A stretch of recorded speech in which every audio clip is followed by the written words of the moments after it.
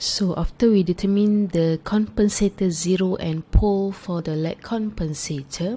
we first sketch the curves of the compensated system as shown in this figure. Okay, so next search along the uh, radial line of damping ratio 0.174. The second order dominant poles are 0.978 plus J3.836 with a gain 158.1. So again, uh, to determine these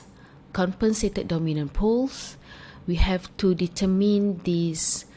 closed loop transfer function for the compensated system which consists of the compensator. This is ZC that we determined before minus 0.111 and also the PC that we choose uh, or given in the question which is minus 0.01 so this is the original plan with the pole negative 1 negative 2 and negative 10 1 negative 1 negative 2 and negative 10 so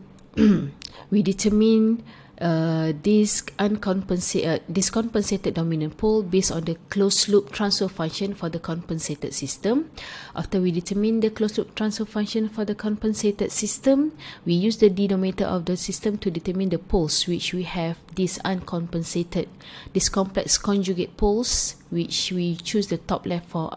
uh, dominant poles and we also have this um, the closed loop pole minus 11.55 and we also have a compensator pole at negative 0.01 and also uh, ZC at negative 0.111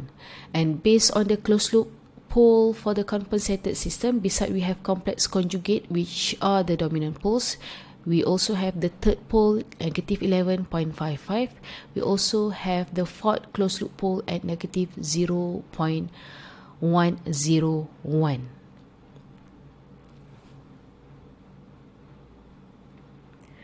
This figure shows the effect of the lag compensator in time domain. Even though that the transient response for the uh, uncompensated the black one and also for the lag compensated the green one systems are the same. The lag compensated system exhibits less steady state error okay which is almost reach the uh, this one unity uh, unit step which the amplitude is equal to 1 uh, by approaching unity more closely than the uncompensated system which is around 0.9 something. So all transient and steady state results for both uncompensated and compensated system are shown in this table So this is uncompensated transfer function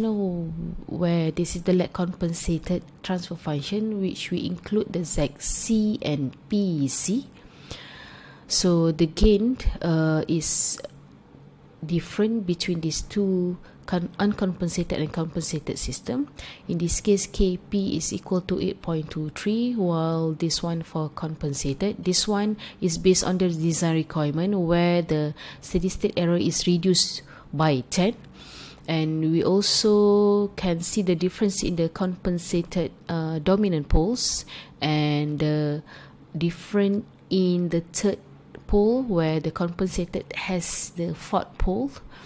And this case for the uncompensated it consists of non-zero while the compensated has the compensated zero at 0.111